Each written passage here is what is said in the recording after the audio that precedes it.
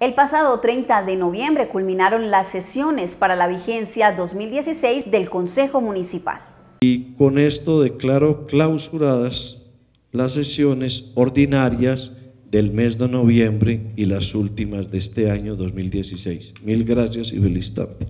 Con estas palabras, el alcalde municipal cerró el ciclo del Consejo Municipal del año 2016. Varios fueron los proyectos aprobados por la Corporación para beneficio de los onzoneños. De todos los proyectos que, se radicaron en la, en la Secretaría del Consejo, se lograron evacuar la mayoría, no quedaron sino dos proyectos, uno pendiente pues de ir a estudio por las comisiones y otro que fue aplazado en la plenaria, que es el de para, hacer, para que el municipio pudiera adquirir un, eh, acceder a un empréstito para ser socio en una hidroeléctrica. Realmente la corporación decidió aplazarlo hasta no tener una información más certera sobre la pertinencia de este proyecto para el municipio de Sonsón. En el plan de acción uno de los objetivos principales de esta mesa directiva era visibilizar la corporación como tal, lograr la participación y que la comunidad conociera de primera mano realmente qué es lo que hace la corporación en bien de la comunidad y pienso que eso se logró, fue una de las metas logradas con la transmisión en directo de las sesiones.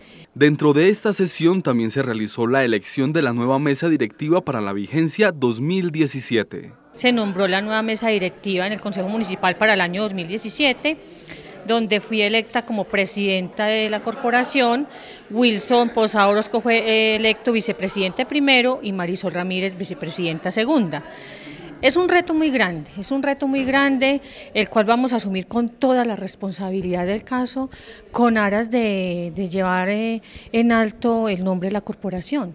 Uno de los retos más importantes que tiene la nueva mesa directiva para la vigencia 2017 es la implementación del Plan de Ordenamiento Territorial. Ya estamos muy tardíos en el PBOT y ahorita en el cierre, en la clausura de estas sesiones ordinarias del mes de noviembre, el alcalde lo dijo. Para el año entrante, en el mes de enero y febrero, se estará como en proyecto la, el, el, PBOT y ese va a ser un reto también para el año entrante porque el municipio ya está muy atrasado en este tema.